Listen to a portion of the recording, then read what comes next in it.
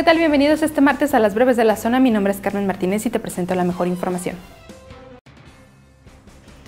Hoy se reactiva la operación del sector restaurantero en el municipio de León, donde se estima que sean entre 40 y 50 comercios los que reabran sus puertas a sus comensales.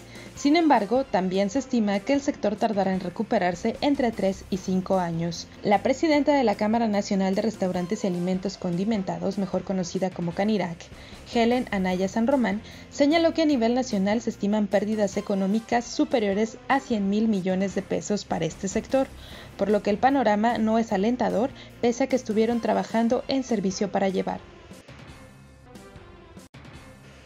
La Secretaría de Salud del Estado de Guanajuato señaló que no hay ninguna autorización sanitaria para que sectores ajenos a la minería, construcción, automotriz y el campo puedan reactivar actividades en los próximos días.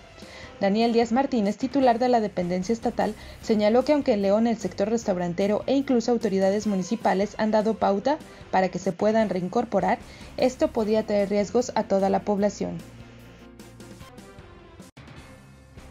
De 10 municipios de Guanajuato, al menos 6 reportan mala calidad del aire de acuerdo al monitoreo atmosférico estatal durante esta mañana.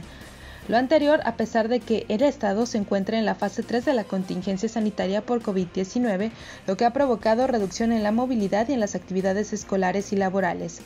Salamanca, León, Celaya, Irapuato, Silao y Purísima del Rincón fueron los municipios que reportaron mala calidad del aire.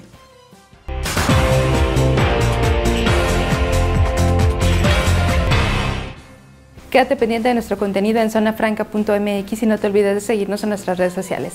Más tarde ve el siguiente bloque informativo que te presenta Vania Jaramillo.